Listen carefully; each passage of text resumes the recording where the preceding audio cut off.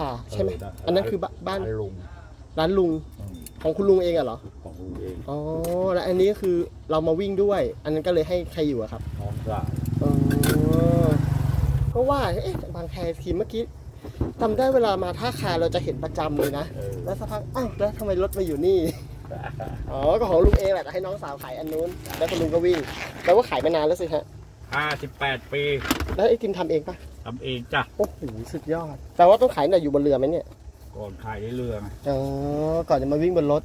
ขายวิ่งในเรือกี่ปีได้ละขายได้เรือยี่สิบกว่าปีอืมมารถนี่ก็ยี่สิบกว่าปีแล้ว แล้วทำไมถึงใช้บางแคผมไม่เข้าใจ ตอนแรกผมคิดว่าอ้าวคนบ้านเดียวกัน ก่อนผมไปอยู่ใกล้ก็วันแค่น้อยไง อ๋อวัดบางแคน้อยวาโรงพยาบาลหัววาเอ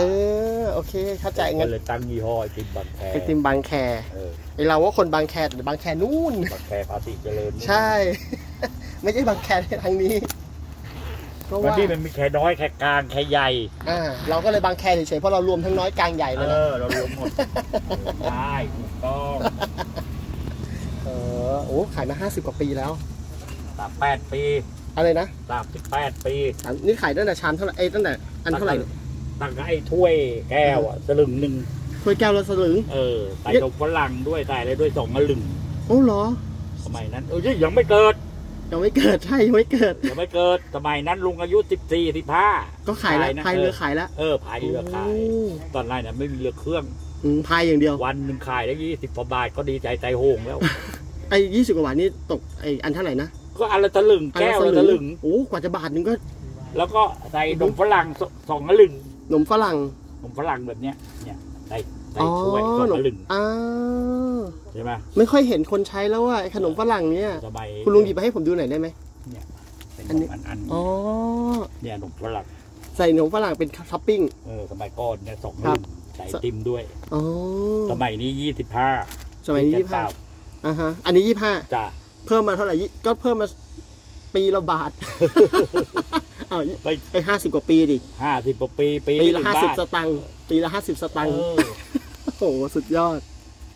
โอ้ขายข้อมามานานมาก ตอนนี้เท่าไหร่แล้วครับ คุณลุง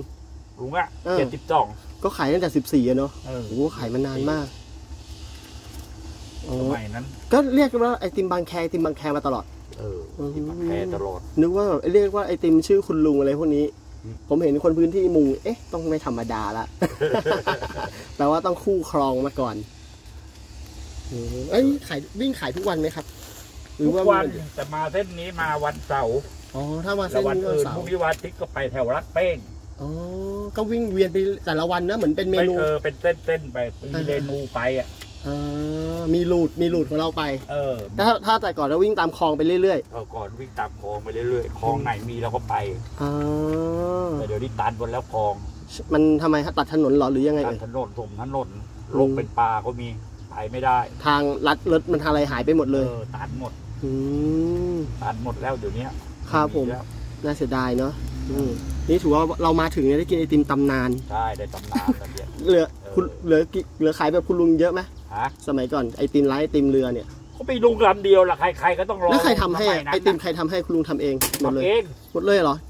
มีกี่รถฮะของเรา